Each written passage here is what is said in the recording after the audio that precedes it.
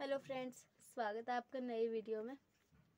आज की वीडियो में हम बात करने वाले हैं कि हम अपने फ़ोन में जो है, हम अपने फ़ोन में रिंगटोन को कैसे चेंज कर सकते हैं। तो चलिए, वीडियो को शुरू करते हैं सबसे पहले।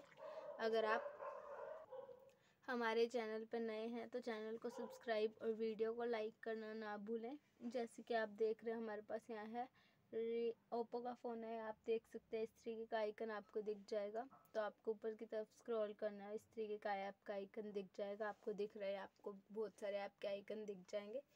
अलग अलग अलग ऐप का जो है अलग अलग फ़ंक्शन है, आप देख सकते हैं। तो आपको यहाँ पर सेटिंग पर जाना है, उसके बाद यहाँ पर क्लिक करने के बाद आपको बहुत सारे और ऑप्शन दिख सकते हैं, इस तरीके से।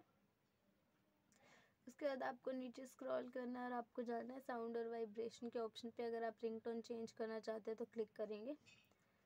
क्लिक करने के बाद इस तरीके का आइकन आपको दिख जाएगा, आप देख सकते हैं। उसके बाद आपको जिस भी सिम पर रिंगटोन को चेंज करना है तो क्लिक करेंगे। मैं सिम टू पर क्लिक कर देती हूँ इस तरीके से। उसके बाद आपको रिंगटोन चेंज करनी है तो आप यहाँ से कोई भी रिंगटोन चेंज कर सकते हैं। जो भी आपको सही लगे।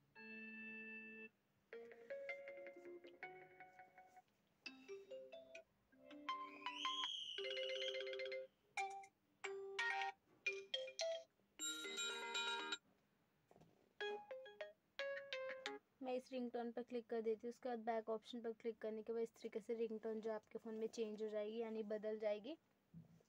तो उम्मीद है फ्रेंड आपको वीडियो पसंद आई होगी। वीडियो पसंद आई है तो चैनल को सब्सक्राइब और वीडियो को लाइक करना ना भूलें।